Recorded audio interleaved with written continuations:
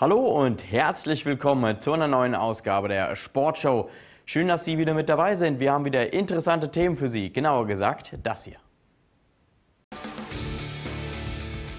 Bittere Niederlage. Frankfurt Universe verliert Spitzenspiel gegen die Schwäbisch Hall Unicorns.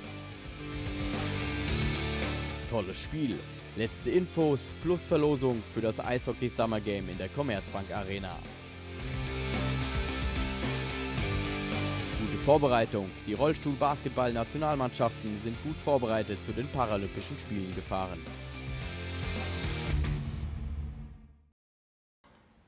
Es war das absolute Spitzenspiel in der GFL Süd. Tabellenerster, die Schwäbisch Hall Unicorns, gegen Tabellenzweiter, die Frankfurt Universe. Und es ging um nichts Geringeres als die Meisterschaft in der GFL Süd. Am Ende waren es die Gäste aus Schwäbisch Hall, die den Pokal des Südmeisters in die Luft halten durften. Die Unicorns haben das Duell mit der Universe mit 35 zu 28 für sich entscheiden können. Die 7500 Fans in Frankfurt hatten sich das zu Beginn des Spiels allerdings ganz anders vorgestellt. Denn immerhin waren die Men in Purple fast zwei Jahre zu Hause unbesiegt. Doch schon im ersten Drittel machte Schwäbisch Hall deutlich, wer in den letzten Jahren stets um die deutsche Meisterschaft gespielt hat. Der 7 zu 0 Führung nach dem ersten Viertel setzten sie noch einen drauf und konnten mit 14 zu 0 ihren Vorsprung ausbauen. Dann allerdings kam auch die Frankfurter in Schwung. Quarterback Marcus McDade wird zwar von der Unicorns Verteidigung gejagt, behält aber die Übersicht und findet mit diesem 61-Yard-Pass David Hiron Jansa in der Endzone. Doch die Gäste hatten wie so oft an diesem Tag eine Antwort parat. Langer Pass, der Frankfurter Verteidiger unterschätzt den Ball und dann ist das Feld komplett offen. Nächster Touchdown für die Unicorns. Jetzt ging es darum, das Team weiter anzufeuern. Und es half. McDade findet diesmal Robinson in der Endzone. Und somit konnte Universe auch durch eine Two-Point-Conversion auf 21 zu 14 verkürzen.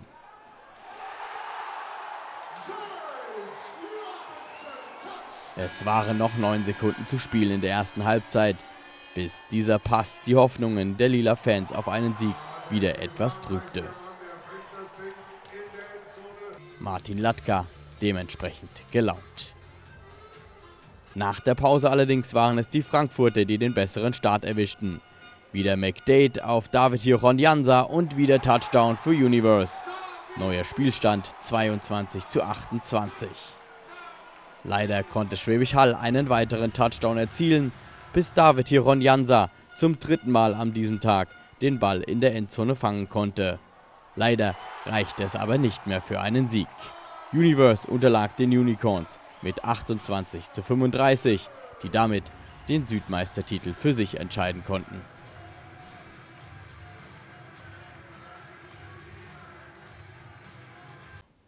Am Samstag gibt es in der Commerzbank Arena ein ganz besonderes sportliches Highlight. Die Saisoneröffnung der DEL 2 Eishockey im Fußballstadion. Die Frankfurter Löwen gegen die Kassel Huskies. Doch wer kam überhaupt auf die Idee und was passiert, wenn es wieder über 30 Grad wird? Diese Fragen beantworten wir jetzt gleich und anschließend gibt es eine Verlosung. Sie können Karten für dieses Event gewinnen. Bis gleich.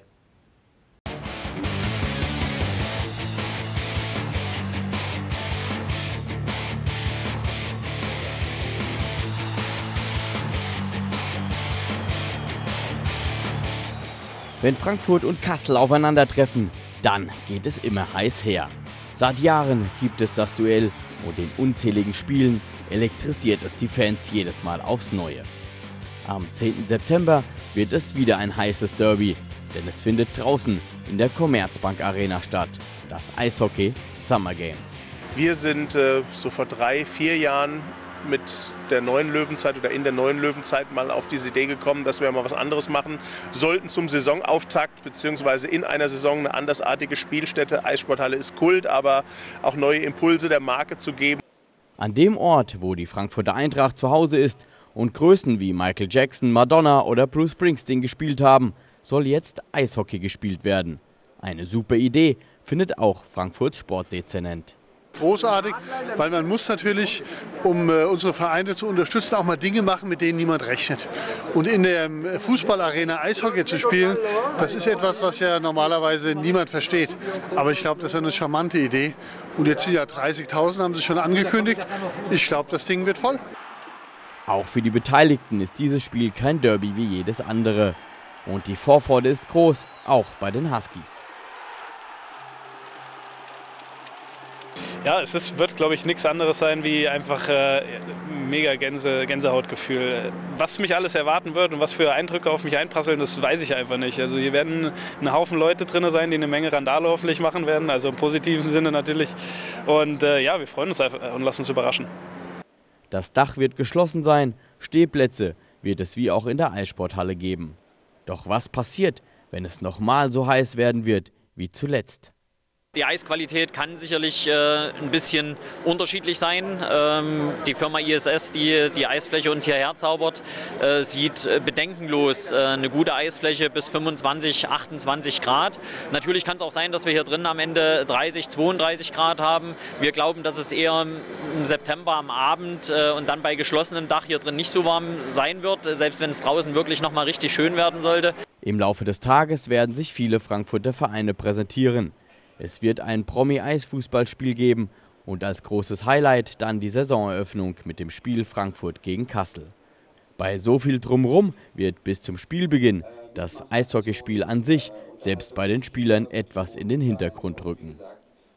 Ja, muss man äh, ehrlicherweise schon sagen. Also wie, wie, ich eben schon gesagt habe, es sind eine Menge Eindrücke, die auf einen reinprasseln. Das Sportliche findet bis äh, zu dem Zeitpunkt, wo der Bulli eingeworfen wird, äh, eine nebensächliche Rolle, denke ich mal, könnte ich mir vorstellen. Wobei dann, wenn es losgeht, natürlich äh, Fokus auf das Spiel liegt. Aber es ist eine Menge drumherum auf jeden Fall. Für das Summer Game haben beide Teams extra Trikots anfertigen lassen. Die Löwen haben der Frankfurter Skyline einige Palmen zugeführt. Die Huskies setzen mehr auf den Hawaii-Look. Und genau für dieses Summer Game gibt es jetzt für Sie Karten zu gewinnen.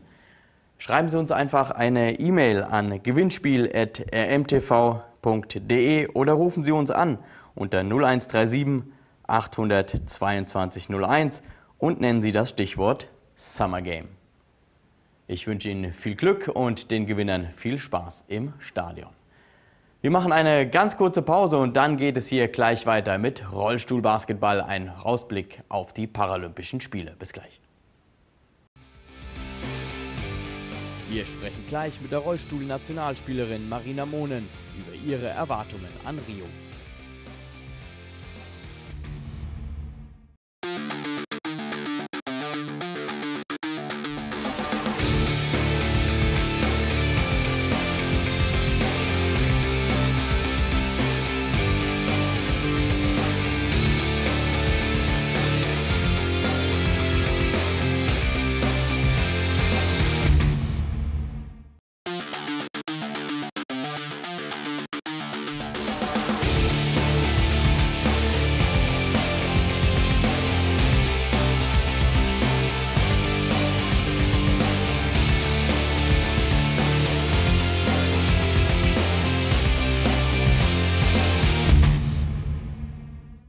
Ja, wir sind wieder zurück in der Sportshow bei mir jetzt Marina Monen, Paralympics Goldmedaillengewinnerin in London im Rollstuhl äh, Basketball.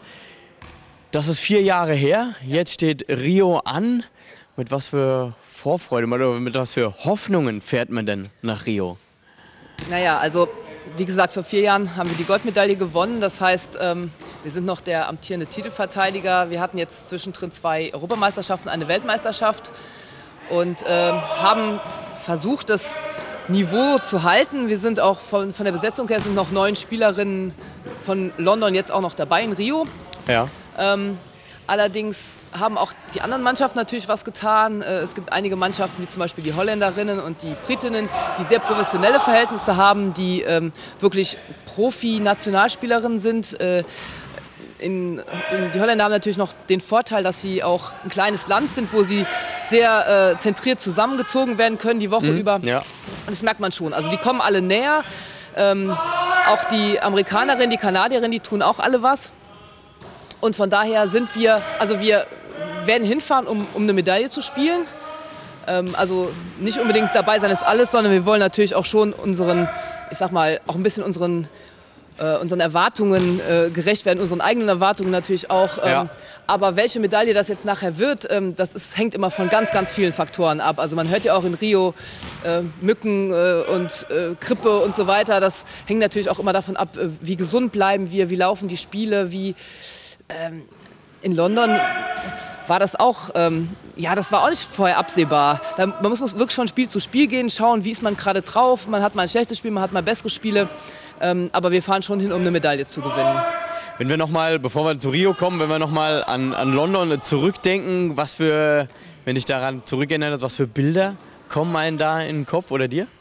Also so die, äh, die Erinnerung daran ist erstmal, es war eine sehr, sehr anstrengende Zeit, wenn man als, gerade als Basketballer da ist. Man spielt wirklich vom ersten Tag bis zum letzten Tag. Man hat jeden Tag auch noch Training. Also der Tag besteht eigentlich nur aus Aufstehen, Essen, Halle, Essen, Halle, Essen, Schlafen, so ungefähr. Okay. Ähm, man bekommt leider relativ wenig mit von den anderen Sportarten, weil man sehr fokussiert ist auf sich selber. Man hat auch kaum Zeit, zwischendurch mal was anderes zu sehen.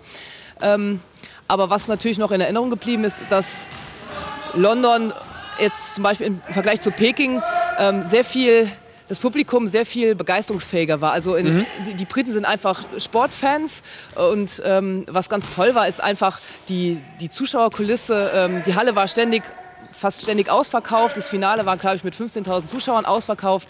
Ähm, auch wenn man am letzten Tag sind wir dann mal übers Gelände gelaufen mit unseren Goldmedaillen. Da waren tausend Leute, die uns ständig angehalten haben, mit uns Fotos machen wollten. Am letzten Tag waren auch alle Sportveranstaltungen ausverkauft. Also wir konnten auch selbst am letzten Tag nach unserem Finale keine Sportveranstaltungen anschauen, weil es halt alles voll war und ausverkauft war. Also das war schon für, für einen Sportler toll, dass einfach so diese Begeisterung auch im Vergleich zu den Olympischen Spielen hatten die das medial super auch aufbereitet ähm, mit so einer Kampagne Thanks for the Warm-up weiß nicht, ob du dich daran noch erinnern kannst, also quasi die das so ein bisschen dargestellt haben, als wären die Olympischen Spiele so das Aufwärmen für die Paralympics. Ja, genau. Und die auch wirklich für, ja genau, die auch wirklich die Briten auch für paralympischen Sport wirklich sehr sehr viel übrig hatten. Das ist mhm. ja auch nicht in jedem Land so. Bin mal gespannt, ja. wie das jetzt in Rio sein wird. Das wäre jetzt die nächste Frage gewesen. Wir hatten das Sportliche schon mal besprochen ja. für Rio. Ansonsten mit dem ganzen Drumherum, mit was für Erwartungen fährst du da nach Brasilien? Ja, es sind tatsächlich ein bisschen gemischte Erwartungen. Man, man hört ganz unterschiedliche Dinge. Also ich habe jetzt von Bekannten gehört, der ist gerade da als Zuschauer, der sagte, es ist super, das ist total, total äh, verrückt hier alles. Und auf der anderen Seite... Ähm, ist natürlich auch gerade die politische Situation. Gerade eben ist aktuell die Diskussion, gibt es überhaupt Geld für die Paralympics? Äh, also sie werden wohl stattfinden, aber irgendwie ein bisschen abgespeckter Version. Also wo sie dann genau sparen werden, ähm, das müssen wir sehen oder wie viel es uns auch tatsächlich betrifft dann. Also keine Ahnung. Und ähm, dann gibt es ständig Gesundheitsinformationen über Stechmücken, über äh, Grippeviren, die da kursieren. Also ja, ja. man ist da vorbereitet worden. Ähm, Vielleicht ist es im Nachhinein gar nicht so schlimm, keine Ahnung. Ähm, aber man, es ist schon so, dass man denkt, okay, interessant ist mal eine andere Erfahrung. Südamerika war ich jetzt persönlich auch noch nie. Ähm, aber es, mal sehen, wie es wird. Also ich, man geht so ein bisschen mit gemischten Gefühlen hin. Und ihr habt euch ja auch logischerweise sportlich auf die Olympischen Spiele vorbereitet, mehrere Vorbereitungsturniere gespielt und eins davon, das war auch hier in Frankfurt. Die Nationalhymne würden die deutschen Rollstuhlbasketballerinnen auch gerne in Rio hören. Und dann natürlich wieder mit einer Goldmedaille um den Hals. Eben alles so wie vor vier Jahren in London. Die Titelverteidigung wird allerdings alles andere als einfach, denn andere Länder, wie beispielsweise die Niederlande, haben mächtig aufgeholt. Beim World Super Cup in Frankfurt gab es gegen die Nachbarinnen eine deutliche Niederlage. Da hat im deutschen Spiel noch nicht viel geklappt. Wir haben einfach nicht gut als Team zusammengespielt. Also in der Defense haben wir nicht genug miteinander kommuniziert, so ähm, dass da viele ja, Fehler passiert sind. Wir haben es den Holländern einfach viel zu einfach heute gemacht. Zu den Abstimmungsproblemen machte sich auch fehlendes Wurfglück der deutschen Spielerinnen bemerkbar, wobei dies für den Bundestrainer eher was mit Können zu tun hat. Es hat nicht was mit Glück und Pech zu tun. Äh, man muss halt auch zu Hause dran arbeiten und in der Nationalmannschaft kann man kein Wurftraining mehr machen. Äh, da sind die Mädels zu Hause gefordert, habe ich denen eben auch nochmal mitgegeben. Ähm, jetzt in den nächsten Wochen das Ganze nochmal zu steigern. Aber ja, wie gesagt, da werden wir noch oder wird jeder Einzelne noch dran arbeiten und wir im Team zusammen. Doch trotz aller noch anstehenden Arbeit, die Vorfreude ist groß, denn die Paralympischen Spiele sind einfach etwas ganz Besonderes. Ja genau, also die Paralympics sind natürlich für jeden Sportler äh, das Größte, was man miterleben kann. Und ähm, ja, es ist einfach so, so eine tolle Atmosphäre, die man einfach bei einer Europameisterschaft oder bei einer Weltmeisterschaft nicht hat, weil man einfach ja, die Sportler aus allen Sportarten beisammen hat und ähm, ja, das Leben schon allein im äh, paralympischen Dorf ähm, ist halt was ganz Besonderes, weil es ist ja wie so eine eigene Stadt. Man hat da alles vor Ort, aber es darf halt nicht jeder rein, sondern es sind halt nur Sportler. Und es war ja beim Vorbereitungsturnier in Frankfurt auch nicht alles schlecht, was die deutsche Mannschaft zeigte. Marina Mohnen beispielsweise wurde Topwerferin des Turniers und auch Mareike Miller mit der Rücknummer 4 spielte gut. Trotzdem unterlag das deutsche Team gegen die Niederlande mit 58 zu 44. Gefeiert wurde dagegen bei den Herren, denn hier konnte das deutsche Team das Turnier gewinnen, was natürlich große Hoffnungen auf die Paralympischen Spiele in Rio macht. Vor allem mit der Abwehr war der Bundestrainer sehr zufrieden. Ich glaube, unsere Gegner hatten Schwierigkeiten mit unserer Verteidigung. Das macht mich sehr glücklich, weil das sollte unser Prunkstück werden und, äh, oder ist es vielleicht sogar schon. Und ähm, ja, von daher vielleicht auch insbesondere mit der Tiefe der Bank, die wir haben, dass wir gut rotieren konnten und äh, unser Level halten konnten. Also ich bin momentan rundum zufrieden. Das konnte auch Thomas Böhme sein. Der Spieler aus Wetzlar vom RSV Landil zeigte eine gute Leistung. Die Stärken der Deutschen sind bekannt. Gerade in diesem Turnier hat man gesehen, wir können, wir können viel rotieren, wir können Spielern eine Pause geben und wir haben eigentlich nicht wirklich einen Leistungsabfall. Und natürlich, äh, ja, was jede deutsche Mannschaft auszeichnet, Turniermannschaft und Kampfgeist. Doch trotz guter Vorbereitung wird nichts dem Zufall überlassen. Das Team hat bereits brasilianische Luft geschnuppert. Wir waren ja vor drei Wochen schon da in Rio und haben schon mal ein Trainingslager gemacht, ein paar Testspiele gegen Brasilien. Wir haben das Land schon mal angucken können, die haben die Euphorie der Paralympics schon dort vor Ort gesehen. Und ja, wir freuen uns riesig darauf. Also wir konnten in die Stadien noch nicht rein. Die waren alle noch abgesperrt irgendwie, aber wir, wir sind ganz heiß darauf, dass es endlich losgeht. Das Erreichen des Viertelfinales ist Minimalziel bei den Herren. Platz 5 wäre ein Traum, doch zurzeit überwiegt trotz anstrengender Vorbereitung vor allem die Vorfreude. Ja, das ist natürlich das, das Ereignis für jeden Sportler schlechthin. Ist schon, ist schon groß die Vorfreude, ähm, natürlich, aber dadurch, wir, dadurch, dass wir jetzt auch schon so lange drauf, drauf hingearbeitet haben, mit, mit Quali durch die EM uns qualifizieren mussten und dann eigentlich wussten, okay, wir sind wirklich wir sind dabei. Seitdem ist eigentlich schon die Freude da. Und jetzt, ums, umso näher es kommt, natürlich, umso, umso größer wird die Freude. Am 7. September starten sie, die 15. Paralympischen Spiele. Ja, so viel zum Vorbereitungsturnier. Muss sagen, in Frankfurt ist es für euch noch nicht ganz so gut gelaufen. Danach ist es wesentlich besser gelaufen. Ist ja dann auch die Zeit bis Rio kürzer gewesen. Ist ja gut so, dass eine positive Tendenz da ist. Wenn wir nochmal bei dir an, an Anfang der Rollstuhl-Basketball-Karriere blicken. Du hast sehr, sehr erfolgreich Fußgänger-Basketball gespielt, dann eine relativ starke, heftige Verletzung im Knie, dass es eben nicht mehr möglich war. War für dich dann gleich klar, okay, jetzt spiele ich Rollstuhl-Basketball, einfach um beim Basketball bleiben zu können? Ähm, es war relativ schnell klar, dass ähm, ich auf jeden Fall gerne was sportlich weitermachen mhm. möchte. Ich war zu dem Zeitpunkt Anfang 20. Also ich war jetzt noch nicht so bereit, in die Trainerkarriere, irgendwie eine Trainerkarriere zu starten oder nur noch zuzugucken. Also ich wollte gerne irgendwas machen. Und damals war es halt so, dass zufällig in meinem Heimatverein äh, in Bitburg eine Rollstuhlbasketball Abteilung gegründet wurde mit einer, mit einer Mannschaft und die hatten, äh, die habe ich gesehen auf einem Freundschaftsturnier, wo die sich quasi, wo sie quasi so ein Einlagenspiel gemacht haben.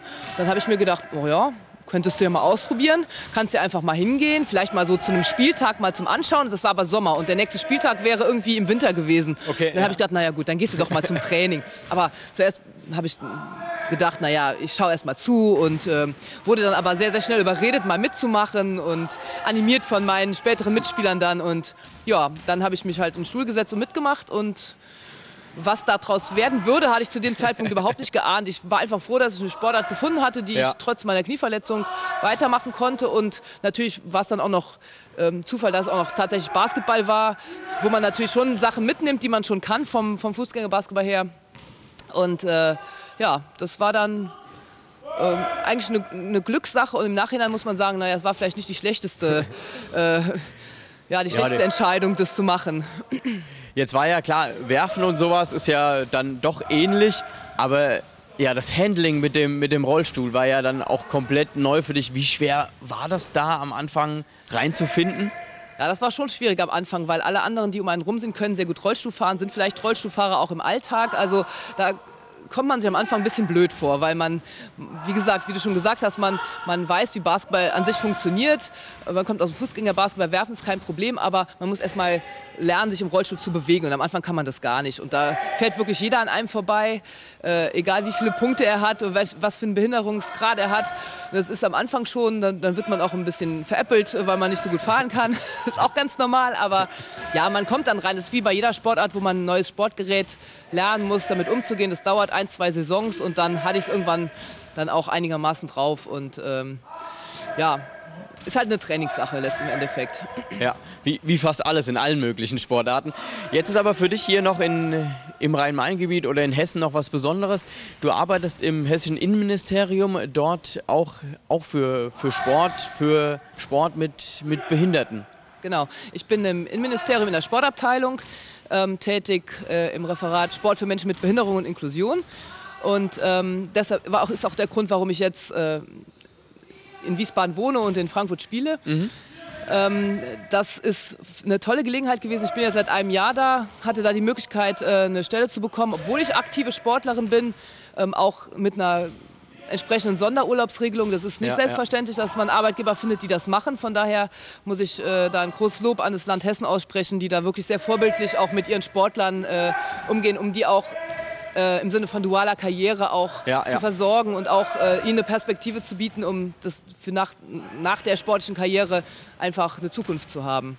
Muss man dann sagen, in dem Fall wirklich ist, der, ja, ist das Hobby dann auch zum, zum Beruf geworden? Ja, auf jeden Fall, weil ich im Bereich arbeite, wo ich auch jetzt aus meiner Erfahrung als Rollstuhlbasketballer, als Behindertensportler auch schon viel einbringen kann. Ähm, aber auch natürlich noch viel dazu lerne über andere Sportarten im Behindertensport, über, um auch äh, über die, die Systeme, um, also ein bisschen hinter die Kulissen blicken kann, mhm. wo ich vorher halt nicht, ja. äh, keine Ahnung von hatte. Das ist eine, eine ganz schöne Mischung. Es ist wirklich eine spannende Tätigkeit, die mir sehr viel Spaß macht. In deinen Augen, was muss sich denn oder was muss sich noch ändern im, im Ansehen des, des Behindertensports? Ja, also ich sage immer, das ist, es ist ein bisschen vergleichbar auch mit anderen Randsportarten, finde ich, im, bei den Olympischen Spielen. Da sind mhm. auch viele Sportarten, die jetzt nichts mit Behindertensport zu tun haben, die man auch nur alle vier Jahre ja. irgendwo mal im Fernsehen sieht, dann wenn Olympische Spiele sind. Ähm, ja, von daher muss man halt regional schauen, dass man seine, seine Fans mhm. animiert. Mhm. Gerade jetzt, wir haben ja die Möglichkeit, dadurch, dass wir einen normalen Ligabetrieb haben im Rollstuhlbasketball, halt auch die Leute im Winter ähm, in die Halle zu bekommen zu den genau. normalen Bundesligaspielen. Als Zuschauer, genau. Genau, das haben ja andere Sportarten die Möglichkeit gar nicht. Ähm, und das müssen wir halt verstärkt machen, versuchen, die, das normale Publikum, vielleicht gerade das Basketballpublikum, auch für Rollstuhlbasketball zu faszinieren. Es kann in Deutschland, du hast eben Bundesliga angesprochen, hat jeder mitmachen. Man muss noch nicht mal irgendeine Behinderung haben, um mitmachen zu können. Wie schwer ist der Einstieg oder würdest du sagen, ist eigentlich eine Sportart, die jeder mal ausprobieren kann? Also ich versuche das, also seit ich jetzt Rollstuhlbasketball spiele, erkläre ich den Leuten, dass man nicht in der Bundesliga noch nicht mal irgendeine Behinderung haben muss, noch nicht mal einen Knieschaden und dass es gerade für Leute, die zum Beispiel einen Knieschaden haben, aus dem Basketball, da gibt es ganz, ganz viele, mhm. dass es für die auch eine gute Möglichkeit ist, den Sport weiter zu betreiben, also so wie ich das jetzt zum Beispiel gemacht habe. Ja, genau. Ähm, es ist aber trotzdem immer wieder ein bisschen schwierig, weil viele da so Vorbehalte haben, die dann denken, oh, das ist ja irgendwie ein Rollstuhl, habe ich ja ein komisches Gefühl oder würde ich niemals auf die Idee kommen. Aber ich kann immer nur sagen, also äh, es ist es wert, es auszuprobieren und ähm, man kann damit auch sehr erfolgreich sein. Man kann weiterhin den Sport weiter betreiben. Und ähm, es ist auch eine, eine Sportart für, wie du jetzt gerade sagst, für Nichtbehinderte, weil es ist in dem Sinne, wenn wir jetzt damit Sport betreiben, ist es kein, kein Rollstuhl, sondern es ist ein Sportgerät. Ja. So wie jedes andere Sportgerät auch, mit dem man erst lernen muss, umzugehen. Und die Behinderung, die tritt dabei eigentlich komplett in den Hintergrund. Also da heißt es einfach Hemmungen abbauen und es einfach mal ausprobieren. Genau. Ich danke dir für das Interview, wünsche ganz viel Erfolg und ich glaube auch ganz viel Spaß bei den Olympischen Spielen in Rio. Dankeschön. Dank. Liebe Zuschauer, das war's wieder von uns von der äh, Sportshow. Ich wünsche Ihnen eine sportliche Woche. Wir sehen uns dann wieder nächsten Montag zur gewohnten Uhrzeit. Bis dahin, tschüss und auf Wiedersehen.